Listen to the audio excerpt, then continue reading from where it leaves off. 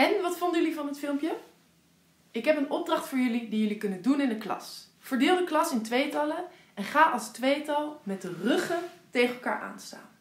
Blijf op dezelfde plek staan. Jullie gaan langzaam bewegen, maar zorg ervoor dat jullie ruggen niet van elkaar afgaan. Probeer elkaar goed aan te voelen, zonder met elkaar te praten. Het is volgen en leiden tegelijkertijd. Als de ene een beetje naar voren gaat, ga je ook mee. Naar die kant, naar onder, naar boven, naar de zijkant. Deze oefening maakt dat je echt naar elkaar gaat luisteren. Zonder dat je elkaar ziet, maar dat je elkaar gaat aanvoelen. Het kan zijn dat je na afloop, na een paar minuten, je rug helemaal warm is geworden. Omdat al je concentratie naar je rug gaat. Bespreek na afloop met de juf of meester in de klas hoe het ging. Wat vonden jullie juist moeilijk? Of wat vonden jullie juist makkelijk gaan? Ik ben benieuwd hoe het gaat. Succes!